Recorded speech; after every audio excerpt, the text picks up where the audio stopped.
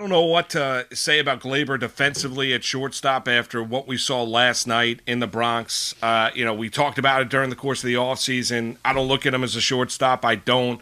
I think he's a second baseman more so than anything else. I don't want to come on the airwaves and scream, I told you so, I told you so, I told you so. It's your favorite I wasn't thing. alone. Joel Sherman, you know, Joel Sherman went out there in the post and talked about it throughout the course of the offseason as well. So I wasn't the only one that was looking at Gleyber defensively at shortstop. But he's not a shortstop. I mean, it, it, just square peg, round hole. He's a lot more comfortable defensively at second base. Brian Cashman has talked about the fact that the Yankees look at him as a better defensive second baseman. I don't need to hear Aaron Boone after the game saying, well, he's got the tools, the package to be able to uh, do what he needs to do defensively at shortstop. He's been bad. And this is not him being out of shape as you heard Brian Cashman give that excuse when baseball got re-upped last last summer yep. as compared to where Gleyber Torres was in shape last March. This is a case of a guy whether or not he is confident enough to play the position defensively and and be able to play shortstop. And and I I don't need to hear any longer about what he did in the minor leagues. It's different minor leagues as compared to major leagues. And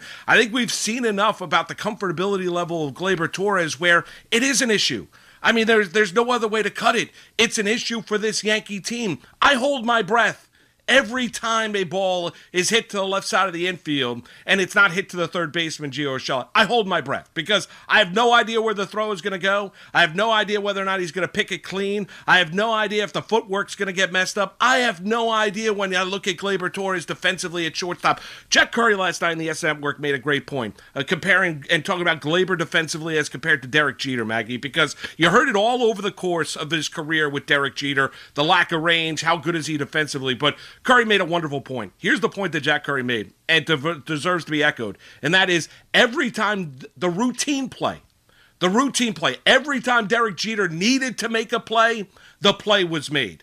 He might not have been Ozzie Smith at shortstop. He was not Omar Vizquel at shortstop, but you knew when the play needed to be made, Derek Jeter was putting on the numbers and making the play. And last night, the throw by Gleyber Torres. Now, listen, they don't have Don Mattingly at first base. Jay Bruce is not that. And Luke Voit is not that either. Now, a better defensive first baseman picks that errant throw, and we're talking about it out there instead of the ball getting by him. However, given the circumstances, Gleyber Torres has got to put on the numbers, has got to put on the jersey, and you've seen it now in a short amount of time he hasn't gotten off to a good start defensively. He's gotten off to an atrocious start defensively. And how much more do you need to see here? The Yankees, unfortunately, though, have painted themselves in the corner. I don't know what their options are if Gleyber continues to struggle defensively. They're going to talk about his work ethic. They're going to talk about him, you know, uh, latching on to DJ LeMahieu, what he's doing pregame, the defensive metrics, positioning, all these different things that they're going to talk about. Athletically, he can play the position. I question that. But what more can the Yankees do right now, and what can they do roster wise? They painted themselves into a corner. Gleyber Torres has to be the shortstop. Yeah, but you know what? Maybe not. Maybe not. And I was one of those people who thought maybe Gleyber could still improve defensively. And hey, he's so young and he's only 24 and he can grow into this role. And, you know, but he's searching he's searching, and I don't think the Yankees know what's wrong either. Are they going to talk about his internal clock, as Flash was talking about last night on the on the post game show? Are they going to talk about his footwork, the arm angle? Is it the pregame, you know, sort of routine, as you said, and as Cashman told us? I mean, what is it? Because it doesn't seem like anyone knows. He might have the tools, and that's fine. If you're at the major league level playing shortstop for the Yankees, I'm just going to go ahead and assume you got the tools, right? but you got to use the tools. And it's yeah. not, you know, yesterday, obviously, when the game is at the critical juncture, when you're in extras and you are in a dogfight here trying to go for a sweep of a team that you've just been absolutely crushing at Yankee Stadium going back to like May of 2019. I mean, they destroy the Orioles, but you find yourself in a dogfight here in a team that was hungry for this win. The Orioles were. They never, ever, ever conceded a moment of that game yesterday. And the fact that Severino was busting at the catcher that is for the Orioles, was busting it down the line, and that would have made Gleyber Torres rush that throw, and that's what could have led to the error. I mean, that's got to make any Yankee fan super nervous. Of course, it's got to make the Yankees nervous. Now, the question becomes because it is so early in the season, but you have this sort of track record of Gleyber and committing errors at that position. And oh, by the way, kind of a lot of errors at second, too, if we want to go back and look at the numbers. But you are early in the season. So, Moose, you're right. You may have painted yourself in a corner here, but you're looking at a team that's World Series or bust. So, when does it become the a, a, plan to reshuffle the infield? When does it get to that point? It's not going to be there today. After six games, it's not going to be there. Of course not. But when does it become an issue and when does the issue get forced to the point where you do have to make some kind of a shuffle and you do have to put Gleyber back at second and either put Tyler Wade at short, move DJ to first, Jay Bruce can play every couple days. You can play platoons, and then DJ can go to third. You can shuffle things around. When Voit comes back, you cross that bridge when you come to it. Or Lindsey Adler wrote in The Athletic today, and I think she had an interesting point. Is this going to force the Yankees' hand to try to make a trade for Trevor Story midseason?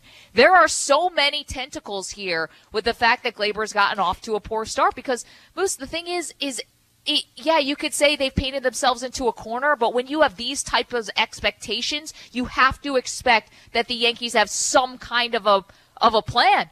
Because if yeah, this continues he, and you can't trust your shortstop to make a throw to first, you got problems. You got well, major problems. They do have problems with defensively at the shortstop position, but Maggie, why didn't they say it? I mean, that, that you, we talk about pride a lot with the Giants, or I would say. Um, it, you know, when you when you look at the Giants, sometimes they're a little bit too loyal in their decision making, right? Sometimes right. I look at the Yankees and they want to prove everyone that they're right.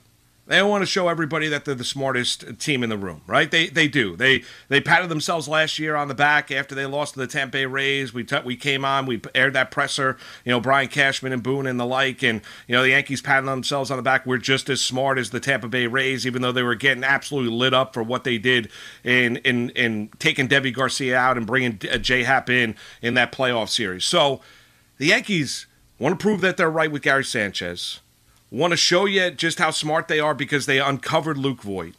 And now you look at Gleyber Torres, they were unhappy with the defensive metrics of Didi Gregorius at shortstop, so they decided to move on from Didi and move Gleyber over the shortstop position. And they want to show you just how smart they are with Gleyber Torres defensively here at short. Because, Maggie, listen, they could go get, and Lindsey might be right, maybe at the trade deadline, maybe one of these shortstops do loosen up and you can go get Trevor Story from the Colorado Rockies, right?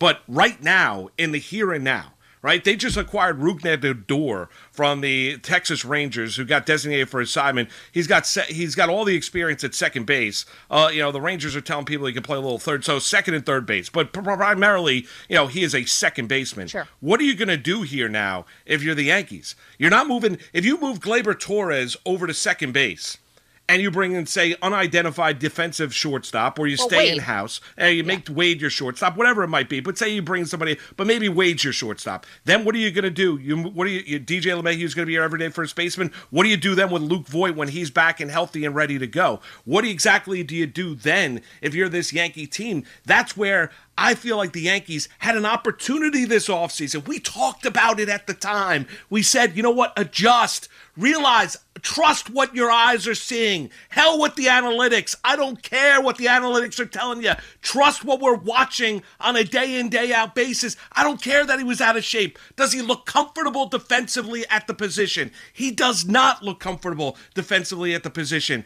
Trust what you're watching. And the Yankees decided to say thanks, but no thanks, and they're rolling the same team back, and now you've got an issue.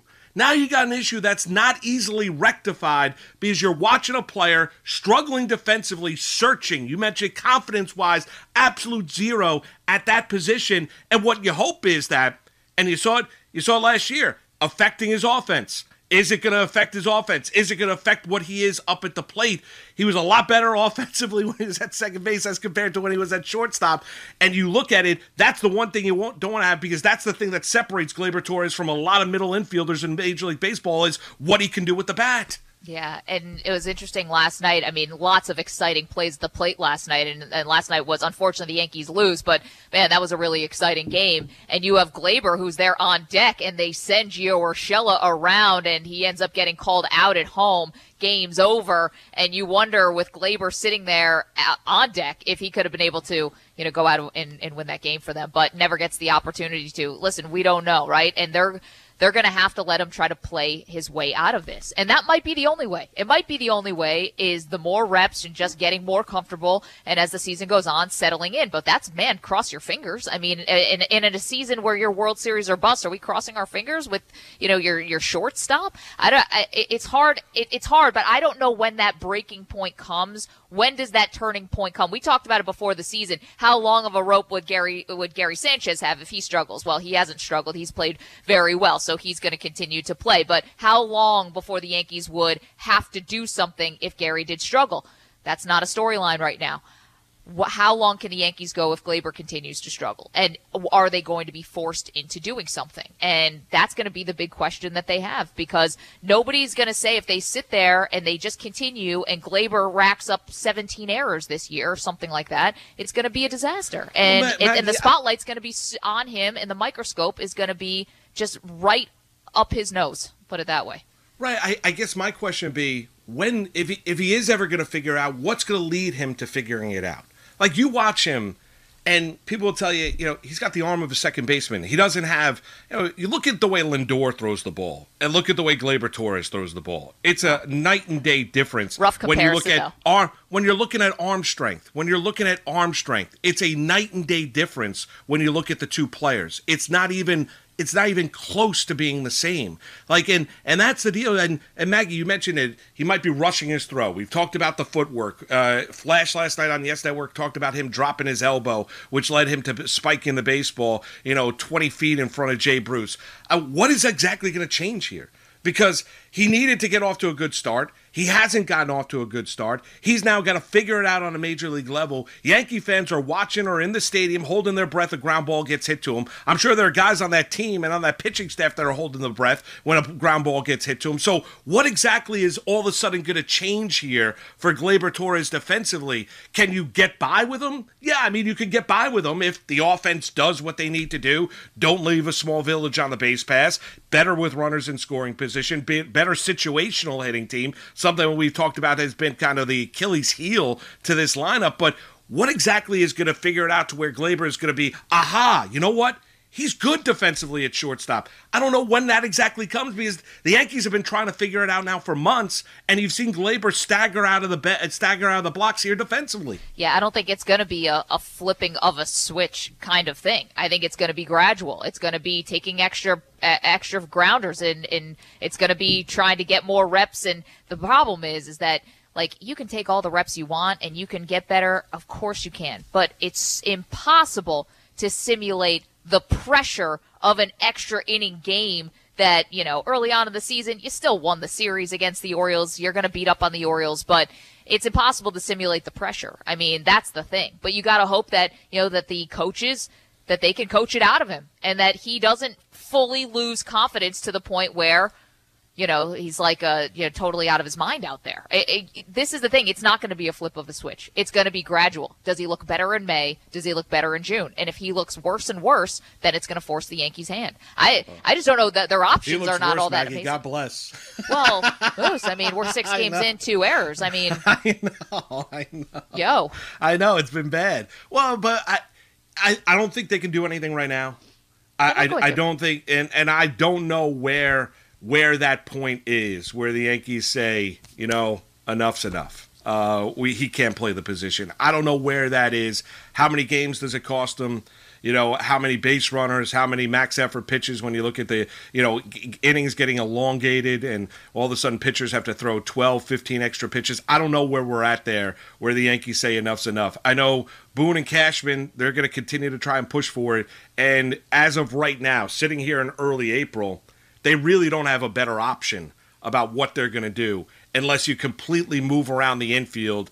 You know, make Wade your everyday shortstop, move Gleyber to second, make LeMahieu your everyday first baseman, or, you know, and then when Voit comes back, then you just kind of juggle the lineup, so be it, based on you're never taking LeMahieu out of the lineup. That's that's the other issue not. you have.